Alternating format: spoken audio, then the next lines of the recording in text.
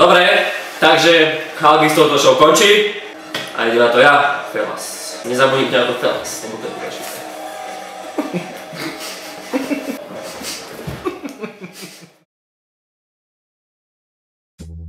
Čaute všetci, zdravím vás Halgy, opäť pri Freerun Show a musím vám povedať, že Denis to absolútne nevedel robiť, pretože všade sa trepal ten úplne holý anti a teraz e, sa vlastne idú zobrať za muža a ženu a v tomto vzťahu bude žena Denis. Takže Freerun Show pokračuje, ja sa na vás teším a teraz si povieme novinky, čo vás čakajú vo Freerun Slovakia týme. Prvá vec, na ktorú sa môžete tešiť, je odštartovanie nového roka a tým, že vydáme dokument o prírode, o krasách Slovenska, čakajte ho 1.1.2014 vo večerných hodinách. Dúfam, že sa na to tešíte takisto ako aj my. Bude to veľká pecka, máte sa na čo tešiť.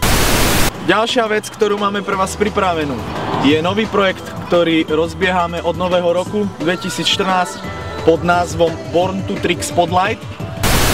Tak, ako som povedal, Freerun Show s Halgim pokračuje. Budú to väčšie šupy, mordy, máte sa na čo tešiť, kopec zábavy, kopec informácií. Bude sa to robiť vo veľkom štýle a Ďalším mojim hosťom alebo hostiami sú Tomáš Chorvát a Martin Viedenský z Workout Fanatics.